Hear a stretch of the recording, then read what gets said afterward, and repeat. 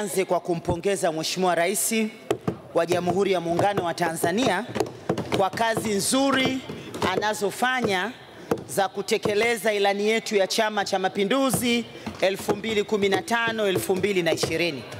Lakini Mheshimiwa Mwenyekiti, nimpongeze pia Waziri wa TAMISEMI, manaibu mawaziri, katibu mkuu pamoja na naibu katibu mkuu, lakini pia nimpongeze ndugu yangu Mkuchika, waziri wa utumishi na utawala bora, pamoja na naibu wake kwa kazi nzuri wanazozifanya.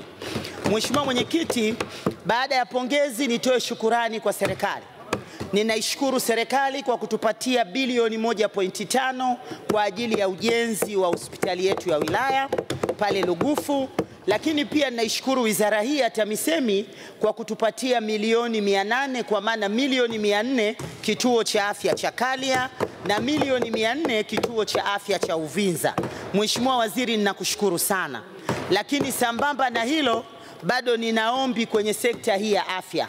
Mheshimiwa Waziri, tuna ahadi alipokuja waziri mkuu tarehe 29 mwezi wa saba mwaka jana, alituahidi kwamba TAMISEMI mta, mtatupatia milioni 800 kwa ajili ya kituo cha afya cha Kazura Mimba na kituo cha afya cha Kabeba. Mheshimiwa Waziri, natambua kwamba mahitaji ni makubwa ndani ya nchi, lakini unaweza ukatupatia nusu yake unaweza ukatupa milioni mia nne tukazigawanya mia mbili zikaenda kituo cha afya cha Kabeba na mia mbili zikaenda kituo cha afya cha Kazura Mimba. Lakini sambamba na hilo, Mheshimiwa Mwenyekiti, nishukuru pia serikali. Nakumbuka mimi nilichangia hapa kuhusiana na maboma. Kilio chetu mmekisikia kwenye zile bilioni 253 sisi kama halmashauri ya Uvinza tumepokea milioni 375 kwenye shule kumi za sekondari.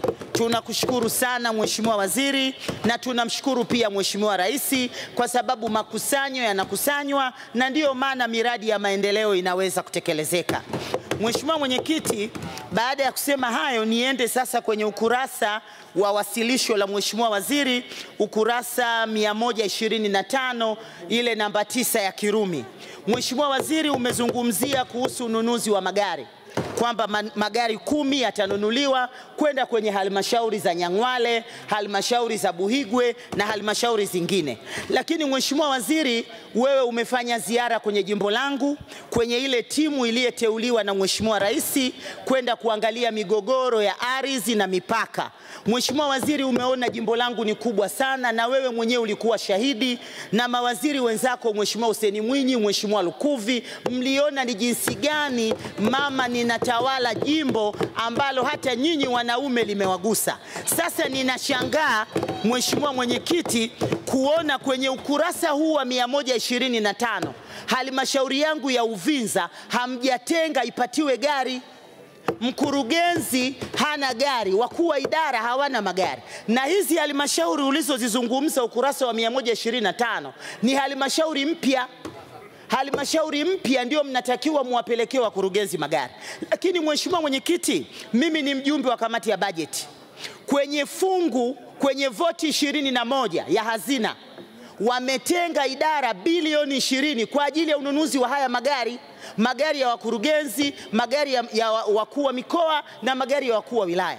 Nimelizungumza hili kwa waziri wa fedha, nimelizungumza kwa naibu waziri yuko hapa, nimezungumza na katibu mkuu Doto, nimezungumza na naibu katibu mkuu, nimezungumza na mwanamke mwenzangu kamishina wa bajeti, ili kwenye hii bilioni ishirini mliyoitenga ya ununuzi wa magari, naomba gari la halmashauri ya Uvinza kaka yangu Jafo tulipate kwenye hizi pesa. Usiponiletea mimi nitaona kuna upendeleo. Namtambua kaka yangu Mpango amezaliwa kule Buhigwe, lakini walianzaanza Uvinza ndio wakaenda kuhamia Buhigwe. Basi na mimi Uvinza niletewe gari la mkurugenzi. Kaka yangu Jafo, naomba hilo ulipokee. Lakini Mheshimiwa Mwenyekiti, ukienda kwenye ukurasa wa kumi na tisa hadi ukurasa wa ishirini na nne Mheshimiwa Waziri amezungumzia pia kuhusu majengo majengo ya utawala ya wakuu wa wilaya na wakuu na wakurugenzi. Mheshimiwa Mwenyekiti, ni muombe pia kakaangu Jafo, hivi kuna nini? Mbona Uvinza haijazungumzwa? Na unajua fika kwamba tunayo majengo yanayosimamiwa na TBA, lakini kwenye bajeti ya 2019 2020 tumeomba milioni 550 kwa ajili ya ujenzi wa majengo ya Buhigwe, majengo ya Uvinza na majengo ya Kasulu, lakini kwenye ukurasa huu wa 19 mpaka 24 Mheshimiwa Mwenyekiti, nasikitika Uvinza haijazungumzwa. Kakaangu Jafo, naomba upokee, najua utanisikia. Mheshimiwa Mwenyekiti, niendelee. TARURA ukurasa wa 83. Mheshimiwa Mwenyekiti, nimeona kwenye bajeti ya 2018-19 tuliidhinisha bilioni 243.29, lakini hadi mwaka huu Februari TARURA wamepokea bilioni 136.02 sawa na asilimia 56. Sasa Mheshimiwa Mwenyekiti, kwenye hili mimi naomba nizungumzie kwenye barabara zangu, mtandao wangu wa barabara ni kilomita 1230. Mheshimiwa Mwenyekiti, bajeti tuliyopangiwa mwaka jana ni milioni 490. Bajeti ya ukomo tuliyopangiwa kwenye TARURA mwaka huu ni milioni 490. Mheshimiwa Mwenyekiti, mtandao wa kilomita zile ni 1230. Nimwombe kaka yangu Jafo, hebu mtuongezee pesa TARURA ili tuweze ku, ku, kuchapa kazi. Mheshimiwa Mwenyekiti, baada ya kusema hayo, naomba nizungumzie kidogo mapato ya halmashauri. Nilikuwa ninaangalia ukurasa wa 130 na 139, halmashauri ya Uvinza imepangiwa kukusanya bilioni moja ilipangiwa bajeti inayoishia tarehe 30 bilioni 1.709. Mheshimiwa Mwenyekiti, tumekusanya milioni 850. Tatizo ni nini? Naomba nizungumzie kidogo vitambulisho. Mheshimiwa Mwenyekiti, hivi vitambulisho vya, vya wajasiriamali mimi naviunga mkono, utaratibu ni mzuri, lakini kwenye utekelezaji kuna shida. Vitambulisho wamepewa wakuu wa wilaya. Wakuu wa wilaya sio maafisa masuhuli, maafisa masuhuli ni wakurugenzi. Sasa mimi nilifikiri hivi, Mheshimiwa Mwenyekiti, waziri, hebu sisi tushauri kama wabunge kule chini hivi vitambulisho tumeuliza, mimi niko kamati ya bajeti, tumemuuliza waziri, hivi hizi pesa zinazokusanywa zinakwenda wapi? Tukaambiwa zinaingizwa kwenye mfuko mkuu wa serikali. Sasa haya mapato mnayachukua kwa wale wajasiriamali wadogo wadogo ndani ya halmashauri zetu. Kwa nini hizi pesa zisiingie kwenye, kwenye mapato ya ndani ya halmashauri zetu?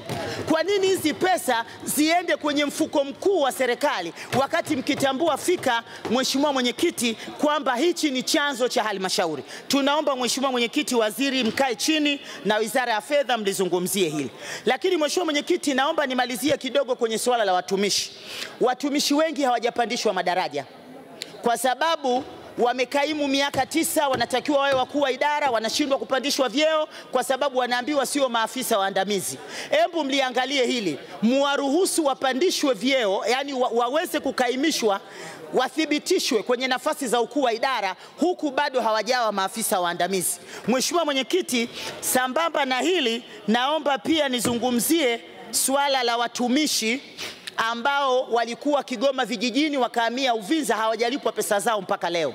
Niliona kwenye fungu la hazina kuna kama bilioni mia tatu na hamsini kwa ajili ya kulipa madeni ya watumishi mbalimbali. Naomba na watumishi wangu wa Uvinza waweze kufikiriwa. Mheshimiwa Mwenyekiti, mwisho kabisa nimpongeze sana Mheshimiwa Rais kwa kazi nzuri anayoifanya ndani ya nchi yetu. Mheshimiwa Mwenyekiti, leo mdogo wangu Heche alizungumza kwamba kwenye jimbo lake afya, elimu, hali ni mbaya. Lakini Mheshimiwa Mwenyekiti, mimi kwa taarifa nilizo nazo, serikali hii inayoongozwa na Dr. John Pombe Magufuli imepeleka milioni mia nne kwenye kituo cha afya cha Mkende kwenye jimbo la Heche, imepeleka milioni mia nne kwenye kituo cha Sirali imepeleka pesa za ujenzi wa jengo la halmashauri kwenye jimbo la mdogo wangu, lakini pia nikamsikia kaka yangu Jafari anazungumzia kwamba unajua, nyinyi mnaweza mkaenda huku na sisi tukaenda huku. Mimi hivi mnazungumza utawala bora, utawala bora kweli mnaufahamu ndugu zangu wapinzani? Tumeona juzi Maalim Sefu amehama kafu ameenda ICT anaangalia tumbo lake, haangalii chama. Lakini tumeona humu ndani tulikuwa na kafu A na kafu B. Leo nimemsikia Bwege anasema wote ni kafu moja. Sasa ninajiuliza huo ni utawala bora upi? Mlikuwa kafu A na B, kwa nini msiende ICT?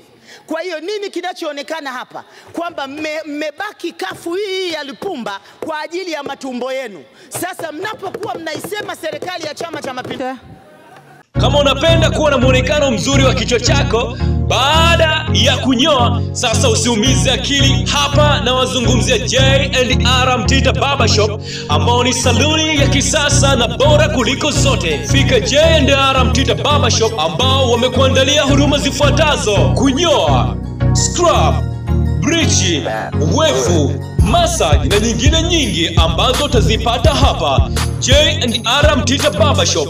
Wanapatikana Buguruni Rozana, mtaa wa Mitungini, Mbagara Kongowe, mtaa wa Kichangani. Kwa Azizi Ali wanatazamana na zahanati ya Mtoni na Tandika wapo Sudani. Kwa mawasiliano zaidi piga simu namba 0745884112. Joe J and R Mtita Barbershop. Karibu upendeze.